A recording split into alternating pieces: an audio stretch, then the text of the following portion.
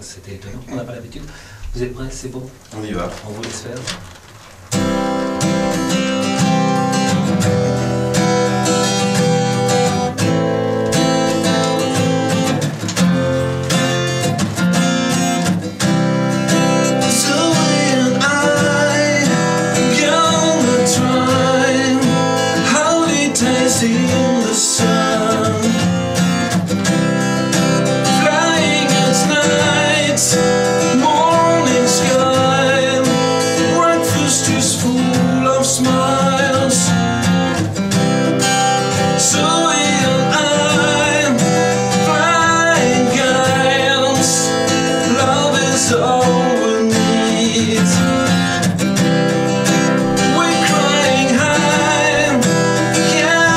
stars.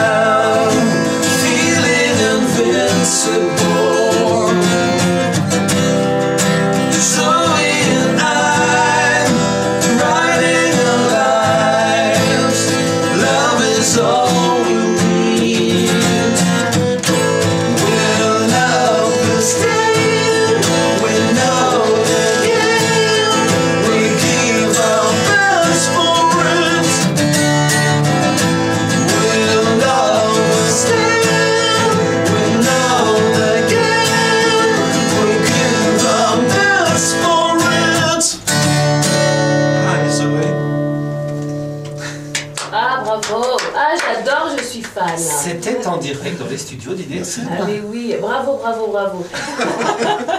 C'est dur le matin. Dites-moi, est-ce qu'on peut euh, revenir un peu sur votre groupe? Est-ce que vous pouvez euh, nous raconter qui êtes-vous? Pour euh, justement pour les auditeurs de l'IDFM, admettons, si on ne vous connaît pas, comment on peut vous décrire? Une phrase. Physiquement, tu veux dire Non, le groupe. On est extrêmement beau, sympa. musical, évidemment. Des mecs, euh, J'ai mené des une mecs blague en face de absolument, moi. absolument géniaux, des mecs super. Oui, qui doit revenir à chaque fois parce que là vous chantez en, en anglais. Alors ce choix c'est c'est un désir de composer, de chanter en anglais pour être sans frontières. Euh, pour, non? Oui, c'est Pour c'est euh, c'est plus facile? Non, non, c'est pas du tout plus facile. C'est euh, parce que les, les Français n'écoutent pas les paroles, mais, mais les anglophones, si.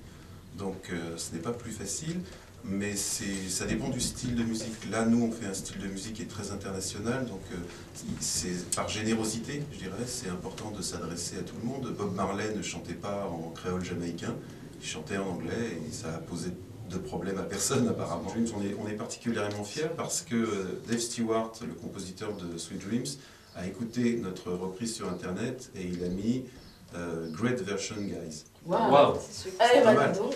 Voilà. Alors on vous écoute le groupe. Merci.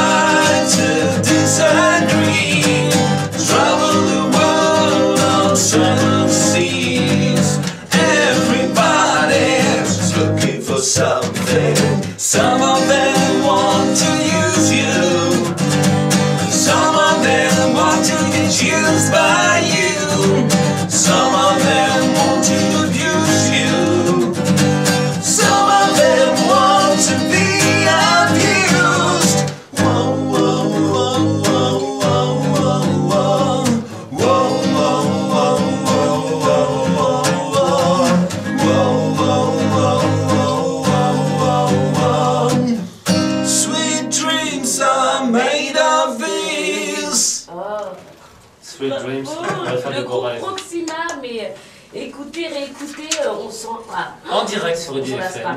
Voilà, en direct.